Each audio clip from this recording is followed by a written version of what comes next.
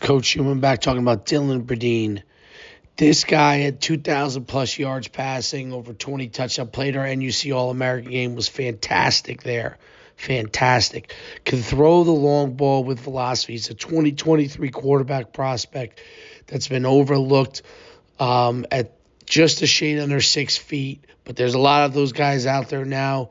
Um, but he could throw long. He has the ability to throw short and intermediate. He's got excellent um, power on his arm. He can throw from all different arm angles.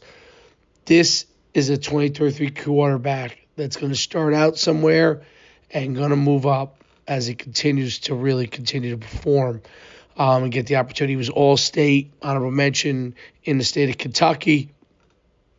And you can see here, throw after throw, um, especially down the field, his touch, his velocity is excellent.